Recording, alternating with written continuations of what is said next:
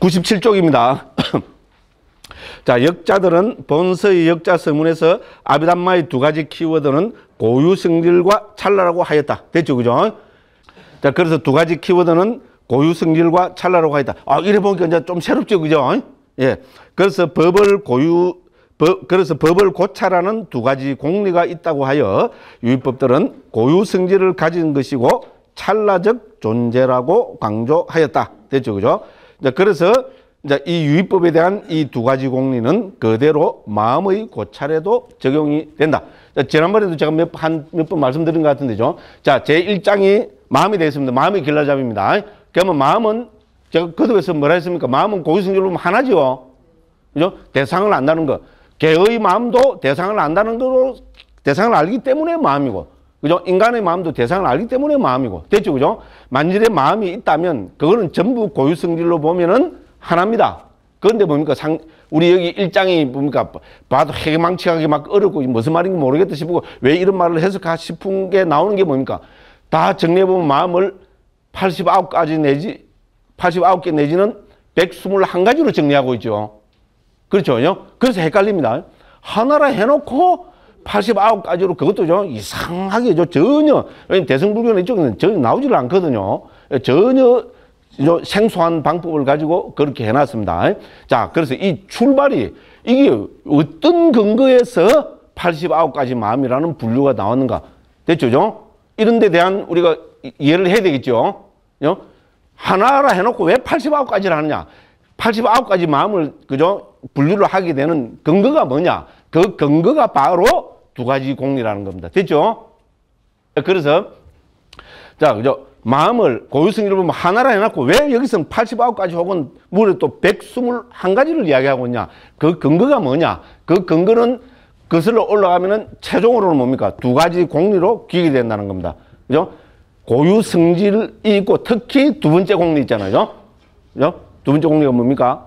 찰나적 존재. 마음은 찰나적 존재라는 겁니다. 우리 한국 불교가 마음을 대하면서 가장 놓치고 있는 게 바로 이 찰나입니다. 맞죠? 그러니까 한국은 뭡니까? 마음을 절대화하기에 급급합니다. 그죠? 근데 저는 불교가 불교고 이 다우려면은 반드시 있잖아요. 찰나에 대한 눈을 떠야 되고 아비담마의 말로 뭡니까? 예, 찰나가 빠지면은 아비담마가 될 수가 없습니다. 저는 물론 찰나는 북방 설일체부 같은 북방 아비담마에서도 찰나는 제일 중요한 그죠? 그 주제입니다. 그런데 특히 상자부 불교는 뭡니까? 80아홉가지 마음을 분류하는 이거부터 해서죠. 전부 다가 찰나에 토대를 하고 있다는 겁니다. 자, 이렇게 말씀드리고, 그 다음에 이제, 그 이제, 마음 편에 들어가는 데 있잖아요. 마음을 어떻게 이해해야 될 것인가. 먼저 있잖아요. 제가 이제, 어쨌건 제가 뭐 번역한 사람도 보니까 먼저 했잖아요. 그죠? 그래서? 이 팔, 이 마음 1편, 제 1편 마음편은 어떻게 이해하는 것이 제일 체계적으로, 그죠? 잘 이해할 수 있을까 하는 이제 그 고민을 좀 해봤어요. 그죠? 어디 가서 뭐 강의한다고 떠들어다니시는 거죠. 그래서 제, 제 1장은 89가지 혹은 121가지 마음에 대한 도표를 먼저 보고 여기에 대해서 눈이 뜨지면 1장은 해결이 다 돼버립니다. 그래서 거기 200 지금 6쪽인가 그렇습니다. 새 책으로 206쪽에 보면은 그 89가지 마음 도표가 있죠. 그죠? 네. 2장은 1장은 있잖아요. 요 도표 하나 이해하시면은 1장은 해결이 다 돼 버립니다. 이 도표를 보시면 됩니다. 자, 이 도표를 보시다시피, 저, 자, 그러면 마음은 먼저 우리가 이해해야 될 것은요. 이 도표를 들어가기 전에 마음은 이 두 가지 전제가 된다. 고유성질을 가진 것 찰나적인 존재. 자, 마음이 찰나적인 존재라면은 찰나는 우리가 거칠게 잡아도 75분의 1초라 했죠. 그죠? 그럼 100세 인생 중에서 내한테서 내가 100년 살 동안에 마음이 몇 번 일어났을까요? 이거 계산해내야 됩니다. 이렇게 구체적으로 비유드는 사람은 세계에서 또 제밖에 없어요. 그죠? 자, 그렇게 이렇게 많습니다. 죠 그래서 상자부도 결국은 뭡니까? 마음은 불가설, 불가설, 미진수로 많다. 이렇게 하는 겁니다. 그죠? 그런데 이렇게 하고 말아버리면은 직무유기입니다. 자, 불가설, 불가설, 미진수로 많다 하고 그죠? 말아버리는 사람이 단수가 높습니까? 그 많은 마음들을 어떤 기준을 갖고 분류를 해내는 사람이 더 단수가 높, 높습니까? 어, 객관적으로.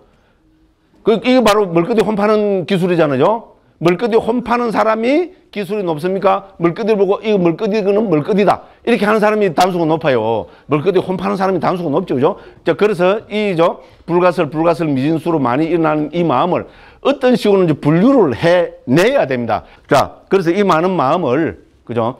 어떤 기준을 가지고 분류를 해내야 되겠죠? 예? 그래서 그 우리 보통 분류하면은 어떻게 합니까? 가로, 세로, 그죠? 뭐 대변, 차변, 가로, 세로 이게 기본입니다. 왜냐면 이차원적으로 해야 분류가 됩니다. 그게 기본이죠. 그죠? 뭐 한 도표하면 뭡니까? 가로, 세로. 삼차원 도표라는 게 물론 요 만들면 되겠지만은 안 됩니다. 그죠? 그 도표는 뭡니까? 항상 이차원입니다 그죠? X축, Y축. 그죠? Y 이꼬로 A, X 플러스 B. 요 정도는 압니다. 중학교 1학년 수준. 그죠?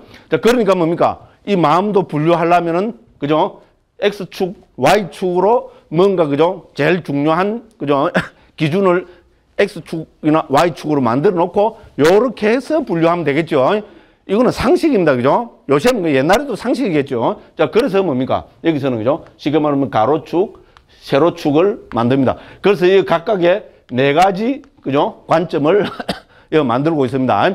자, 그러면은 이 네 가지, 네 가지는 불교에서, 그죠? 어느 불교든지 불교에서 가장 잘 알려진 개념, 그죠? 수로 혹은, 그죠? 관점이어야 될까요? 안 그러면 전혀 이상한, 그죠? 완전히 해가 망측한 뭔가를 가져와서 설명을 해내야 될까요? 보편적으로 잘 알려진 기준을 가지고 해야 누가 봐도 고개를 끄덕끄덕 하겠죠. 그죠? 예, 실제로 그렇습니다. 자, 그래서 세로축을 보면 뭡니까? 우리가 불교에서 세상을 분류, 특히 세상을 분류할 때는 뭐라 분류합니까? 욕계, 색계, 무색계. 모든 불교에서 공통되죠. 맞죠? 그죠? 욕계, 색계, 무색계. 그렇게 마음을 분류하는데도 마음의 경지도 욕계, 색계, 무색계. 그 다음 우리는 또 뭡니까? 우리 어떤 경지를 하면은 아직 못 깨달은 경지와 깨달은 경지. 이렇게 나누잖아요. 그죠? 그렇죠? 왜? 불교니까. 불교는 깨달음을 추구하는 종교이기 때문에. 맞죠? 그죠? 예, 그래서 출생하는 거를 하나 더 넣어요. 그래서 마음은 경지로, 그래서 이걸 우리는 경지로 옮깁니다. 원어로는 부음입니다. 자, 경지로 보면은 네 가지로 분류가 된다는 겁니다. 그죠? 욕계 마음, 색계 마음, 무식계 마음, 출세가 마음. 됐죠? 그럼 욕계, 색계, 무색계 마음은 세간의 마음이 되겠죠. 그죠? 그래서 크게 욕계 마음, 색계 마음, 무색계 마음, 출세가 마음.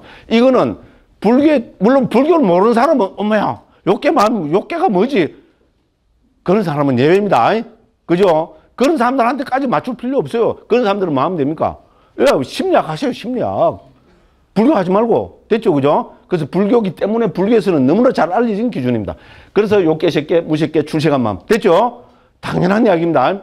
자, 그 다음에 이 가로는 어떻게 될까요? 그러면 불교에서 있잖아요. 불교의 가장, 그죠? 불교가 불교다운?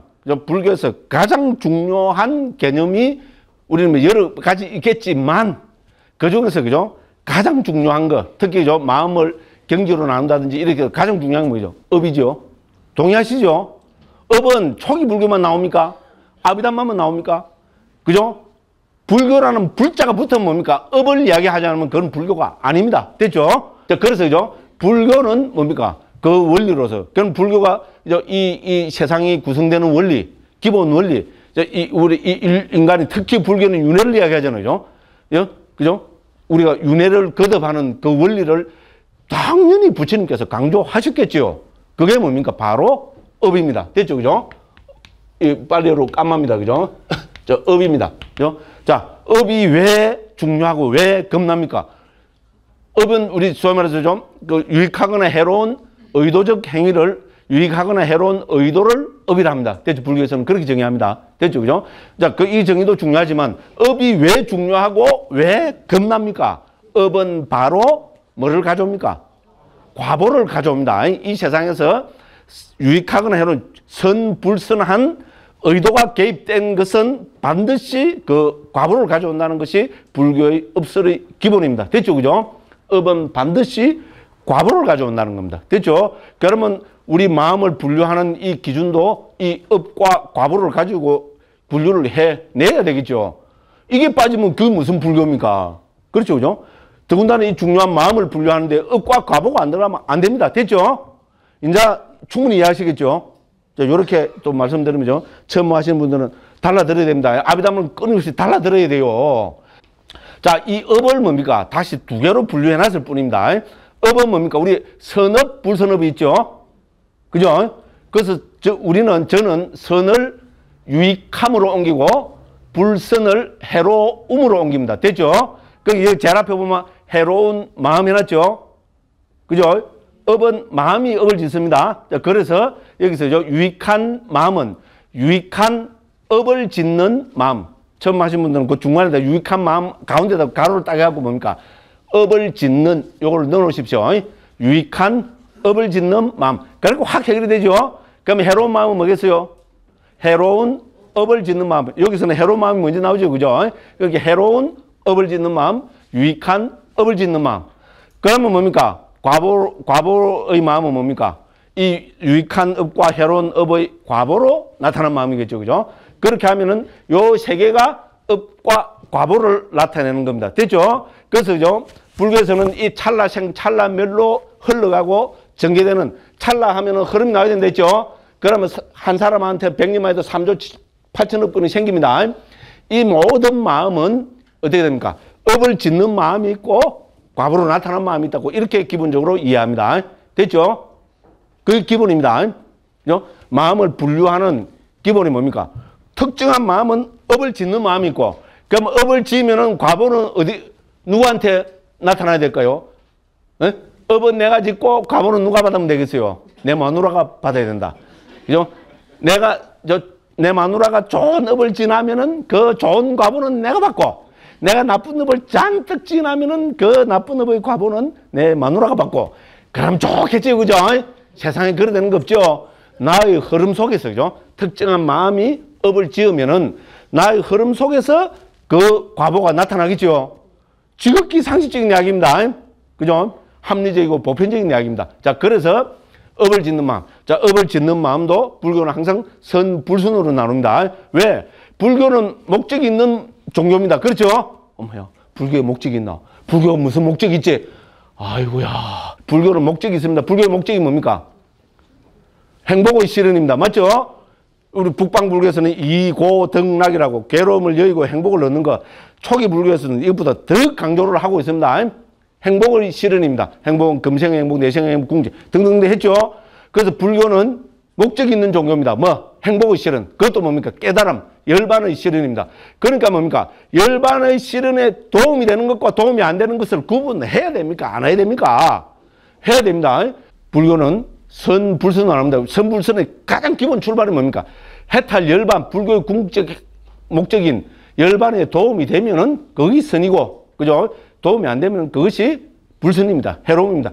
기본 판단은 요렇습니다. 그죠? 예, 그리고 이 세상도 뭡니까? 우리죠? 그죠? 악도, 뭐 선도, 이런 나누잖아요. 그죠? 우리 육도 윤회 중에 뭡니까? 지옥, 축생, 악귀는 악처라고 하죠. 그죠? 악처 혹은 악도라고 하고, 인간, 뭡니까? 천상을 선처라고 합니다. 그죠? 왜, 왜 선처라면, 그거 하면 행복이 많고, 물론 그것도 맞습니다만은, 인간과 천상이 태어나야 열반을 실현할 가능성이 있지. 그죠? 지옥 축생 악이 아수라 태어나갖고, 나이 뭐, 응? 열반을 실현하고, 뭐 이론적으로 불안한 건 아니지만은, 다 말장난입니다. 지금 괴로 죽을 판인데, 해탈 열반이 그거 됐, 됐죠. 그죠? 그러니까 어떻게 됩니까? 이죠?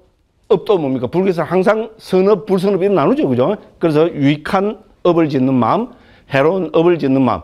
자, 이 업을 지으면 반드시 뭐를 가져옵니까? 과보를 가져옵니다. 그래서 과보로 나타난 마음입니다.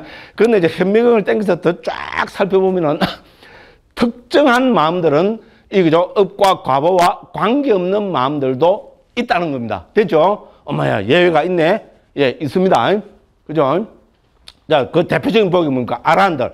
아라한이 탁 되고 나면은 아라한은 좋은 일 할까요? 나쁜 일 할까요? 아, 속된 말로. 아라한이니까 좋은 일만 골라가면서 하겠죠. 그게 아니라 하는 일이 전부 좋은 일이겠죠. 그래, 상식적이죠. 그죠? 그런데 그거를 우리는 먼저 그 선이라고 부를 수가 없습니다. 왜? 선은 과보를 가져옵니다. 아라한은 더 이상 과보를 가져오지 않습니다. 그래서 아라한이 짓는 좋은 마음은 다른 이름으로 불러줘야 됩니다. 그 마음이 자극만 하는 마음입니다. 됐죠? 이 가운데 두 가지를 자극만 한 마음 가운데 두 개를 제외한 나머지는 전부 아란한테만 적용되는 것입니다. 위에 보면은 오문전향, 의문전향 됐죠? 그죠? 오문전향의 마음, 의문전향의 마음. 저, 그러니까 자국만 하는 마음 가운데서 제일 위에 줄이 있잖아요.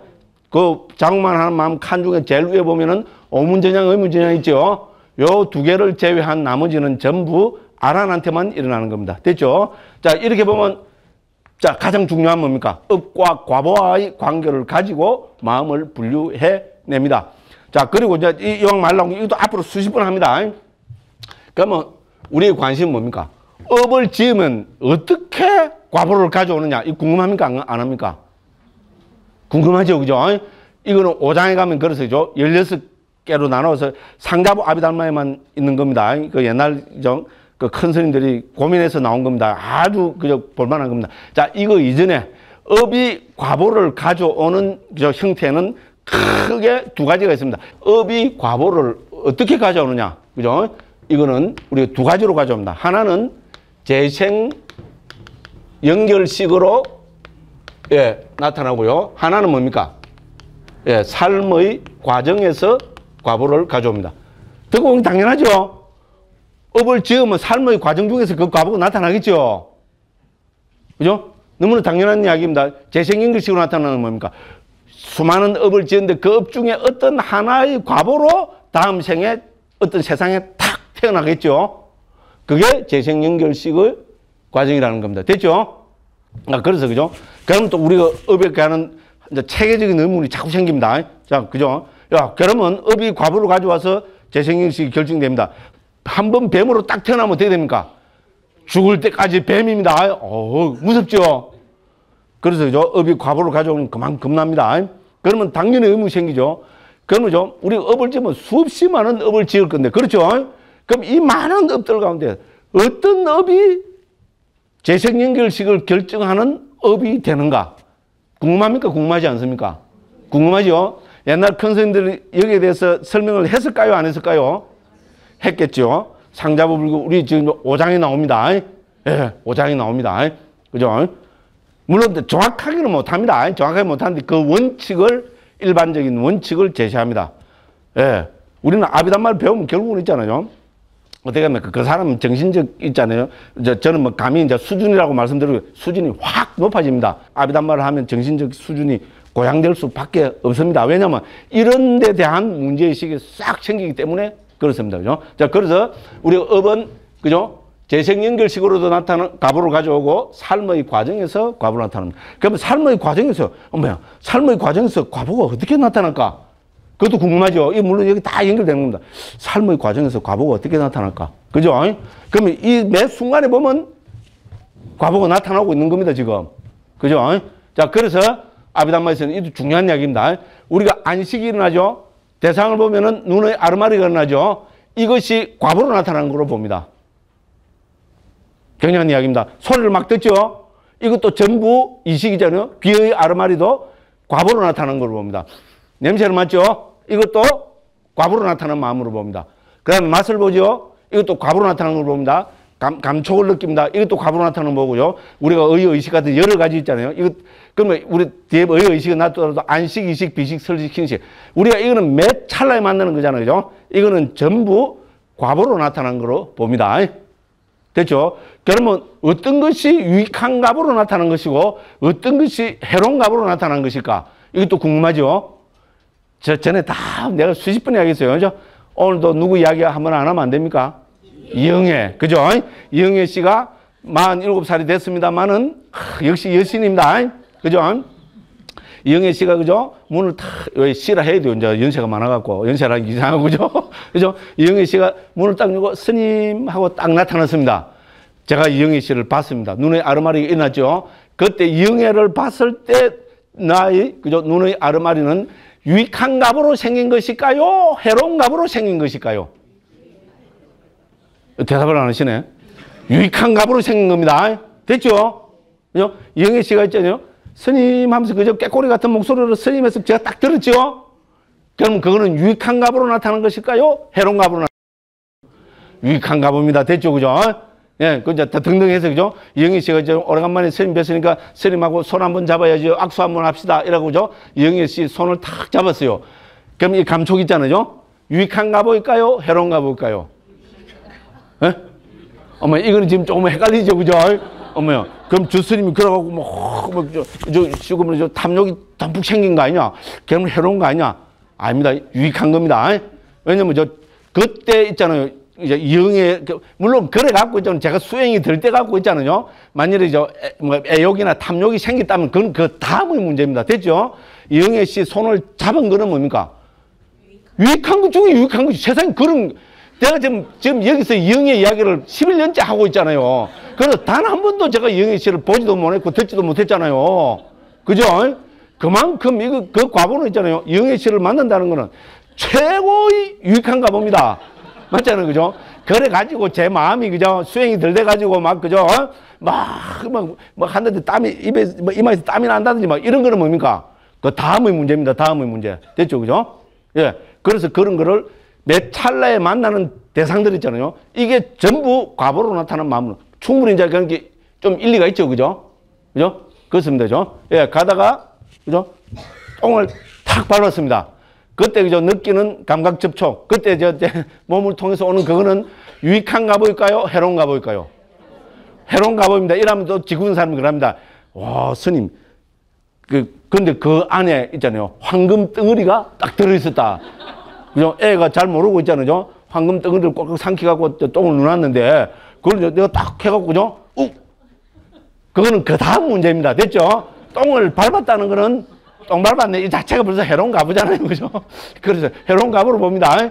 불교에서는 그렇게 이야기합니다. 우리 좀, 요한과 주석서에서 다 그렇게 설명합니다. 그래서, 그럼 그 기준이 뭐냐? 그죠? 어떤 것이 유익한가 보고 어떤 것이 해로, 해로운가 보냐? 그 기준이 뭐냐? 그 기준은 그 시대 보통 사람들의 인식에 따르면 된다. 보통 사람 이론이 이미 불교에서 그죠? 한 천, 천육, 칠백 전에 이미 나왔어요. 불, 경에 있잖아요. 아, 그 주석서에 그거 나옵니다. 그 시대 보통 사람들의, 예, 거기에 따르면 된다. 이렇게 합니다. 그죠? 그죠? 어떤 것이 유익한가 보냐, 해로운가 보냐. 됐죠? 그죠? 예, 그래서 우리는 뭡니까? 눈, 귀, 코, 혀, 몸으로 마주치는 모든 것은 과보로 나타난 걸 봅니다. 그래서 이 과보로 나타나서 우리가 그죠? 어떤 대상과 조를 하고, 그럼 우리는 어떻게 합니까? 그거를 통해서 또 업을 짓죠. 그죠? 그죠? 그 업은 그 사람의 성향에 따라서, 수행 정도에 따라서, 그, 저, 상황에 따라서 해로운 과보로 만났을지라도 유익한 업을 지을 수 있고, 그죠? 유익한 과보로 만났을지라도 해로운 업을 지을 수가 있겠죠. 그죠? 그래서 여기서 뭐가 들어야 됩니까? 소위 말해서 불교에서는 여기서 수행이 들어가야 된답니다. 요니소 만화식 까라가 들은 지혜로운 저 우리 그 마음의 잡돌이함 혹은 지혜로운 주의, 지혜로운 뭐 알아차림 이런 것이 들어가야 된다는 겁니다. 되죠? 업과 과보 이론에서도 아비담에서는 있잖아요. 바로 우리가 저 무슨 과보의 마음으로 무슨 대상을 만나 가지고 있잖아요. 그 다음에 업을 짓는 마음이 생길 때 요 사이에서 있잖아요. 예, 우리 그저 수행 한 사람은 아무리 해로운 과보로 무슨 이제 나쁜 상황이나 조건을 만나도 그거를 좋은 자기 업을 일으키는 좋은 마음을 유익한 마음을 일으키는 쪽으로 전환을 시킬 수 있겠죠. 그죠? 빠른 순간이지만은 그죠? 예. 그렇게 하는 것이 우리 아비담마에서 이야기하는 수행의 또 중요성이기도 합니다. 됐죠? 이런 이야기들이 앞으로 계속 나옵니다. 그래서 제가 미리 말씀드린 겁니다. 자, 그래서 이제 뭡니까? 요까지 하고 좀 쉬겠습니다. 가로는 뭡니까? 예. 업과 과보의 관계. 즉, 해로운 업을 짓는 마음, 유익한 업을 짓는 마음, 그 과보로 나타난 마음, 업과 과보와 관계없는 자그마한 마음. 제가 요렇게 앞에 붙인 거 있잖아요. 요렇게 이해하시면 요 도표가 확 이해가 됩니다. 다시 한번 말씀드립니다. 해로운 업을 짓는 마음. 그꼭 넣어놔라 했습니다. 해로운 업을 짓는 마음. 유익한 업을 짓는 마음. 이 둘의 과보로 나타난 마음. 업과 과보와 관계없는 자그마한 마음. 앞에다 곧 넣어놓으면 훨씬 이야기 수록해죠. 그죠? 자그마한 마음 앞에다가 업과 과보와 관계없는 자그마한 마음. 됐죠. 그죠? 이렇게 하시면 되고, 세로는 뭡니까? 경지에 따라서 욕계 마음, 색계 마음, 무색계 마음, 출세가 마음. 됐죠. 그죠? 이렇게 해서 이 두 가지가, 우리가 좀 마음을 분류하는 기준이 되고 그 다음에 세 번째 기준이 있습니다. 세 번째 기준은 특히 우리 욕계 마음 분류할 때 있잖아요. 그 보면은 뭐 여덟 가지 해로운 마음에도 탐욕에 뿌리한 거 여덟 개 뭐 등등 있죠. 그죠? 우리 그죠? 아름다운 마음, 유익한, 욕계 유익한 마음에도 뭐, 뭐, 뭐 1, 2, 3, 4, 5, 6, 여덟 개쭉 해놨죠. 그죠? 그죠? 그렇게 여덟 개로 한 데는 기준이 세 가지가 있습니다. 그 좋고 나쁘고 세 가지 함께 이해 삼성 하니까 팔이 됩니다. 됐죠? 그죠? 예. 그러면 우리가 이 마음을 분류하는 기본 기준은 뭘까요? 이거는 저는 동서 고금이 똑같다고 봅니다. 우리죠? 그러니까 그 그리스에서죠. 그리스 대철학자 아리스토텔레스. 예? 그죠? 자, 그래서 아리스토텔레스가 인간의 심성을 세 가지로 나눴습니다. 그게 뭡니까? 진 선 미. 됐죠? 아시죠? 미스 코리아 진. 그죠? 그, 그죠? 그죠? 진 선 미. 그 다음 또 뭡니까? 진 선 미를 다른 말로 하면 지 정 의. 됐죠? 지혜는 뭡니까? 인간의 마음을 소- 소위 말해서 그죠? 그, 그 지적인 측면에서 분류합니다. 됐죠? 정은 뭡니까? 인간의 마음을 감정의 측면에서 분류합니다. 의는 뭡니까? 인간의 마음을 의지의 측면에서 분류합니다. 그렇게 해서 그거 딱 보면 해로운 마음 위에 보면 뭐가 되어 있습니까, 지금? 나오는데 뭐 기쁨, 그죠? 그 다음에 사견, 자극, 이래 돼 있죠? 기쁨 대신에 그 밑에 보면 평온이 있고, 그죠? 됐죠? 그래서 기쁨, 사견, 자극. 이거를 각각 뭐에 대입니까? 여기서 기쁘냐, 기쁘지 않냐, 이거는 즐거우냐, 결혼냐, 그런 이거는 정적인 문제죠? 그 위에다가 정 있잖아요. 그죠? 지정의 할 때 정에 해당됩니다. 실제로 같은 거입니다. 그 다음에 우리가 뭡니까? 사견이 있냐, 없냐. 견해의 문제는 지적인 문제죠. 당연한 이야기입니다. 자극이 있느냐 없냐 이거는 뭡니까? 의지적 측면 맞죠? 그죠? 그래서 지정의 그러니까 정지 의에 배대하면 됩니다. 그래서 우리 상자부에서도 있잖아요. 마음을 분류하는 특히 욕계 마음을 분류하는 기준으로 지정의를 들이댑니다. 저는 이렇게 이해하는 것이 요거를 가장 잘 이해하는 것이라고 감히 그렇게 생각합니다. 지정의 요게 연결하면 된다. 됐죠? 아마 좀 어, 생뚱 맞다 싶은 분은 집에 가서 가셔갖고 죠 웰빙 커피 마시면서 한번 생각해 보십시오. 딱 맞습니다. 그죠? 그죠?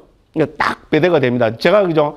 이렇게 생각한 지가 지금 한, 한 10년 전쯤 되거든요. 내가 아무리 세월이 지나면서 또 이거 잘못된 거 아닌가 음미를 해보고 해도 너무나 맞아요. 왜냐면 서양에서도 철학자들이죠. 인간의 심성을 분류할 지정의로 분류했고, 불교에서도 결국 뭡니까? 특히 욕계의 마음. 인간의 마음은 복잡다단합니다. 그죠?